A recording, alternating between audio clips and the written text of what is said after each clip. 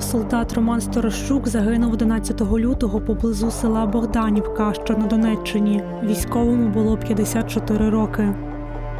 Молодший сержант Володимир Карпа зник безвісти 21 травня 2023 року. Нещодавно ДНК експертиза підтвердила, що військовий загинув. Йому було 46 років.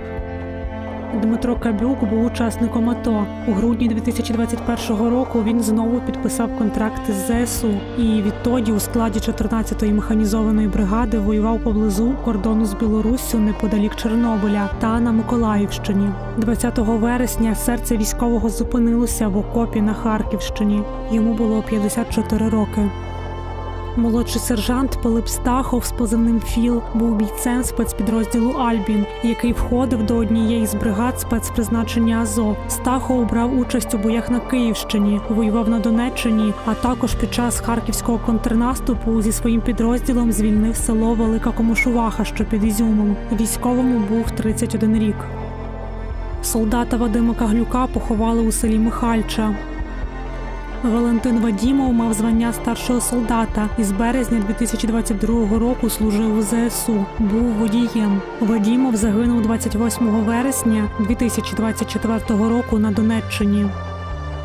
Солдат Андрій Ткачук загинув під час виконання бойового завдання на Донеччині. Йому був 31 рік. З бійцем прощалися у Сторожинці. Богдан Коханюк служив у бригаді Азов Національної гвардії. До того долучився до вовків да Вінчі. Брав участь у бойових діях на Донеччині.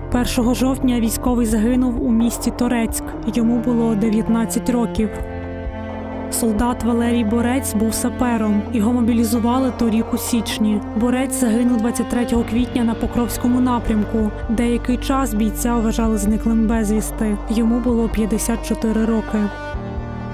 Із солдатом Іллею Баланом прощалися на центральному кладовищі в Чернівцях. Солдат Степан Андрійчук загинув 2 жовтня у Чугуївському районі на Харківщині.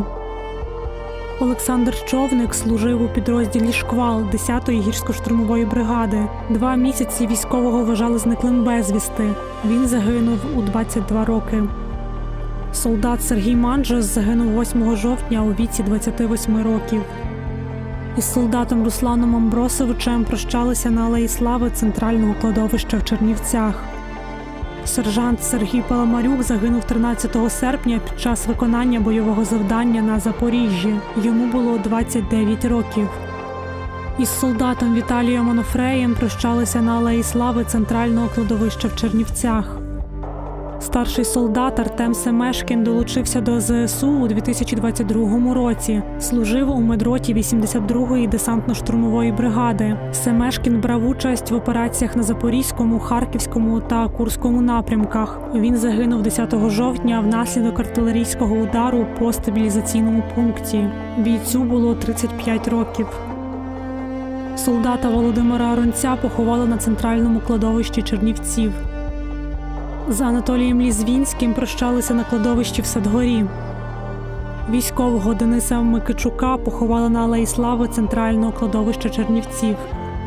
Солдат Дмитро Петрощук воював у складі 53-ї механізованої бригади. Військовий помер у госпіталі в Дніпрі від отриманих травм. Йому було 29 років.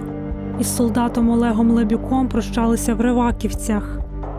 Старший солдат Олександр Граб служив у складі підрозділу спецпризначення. Він загинув 18 жовтня під час виконання бойового завдання на території Росії.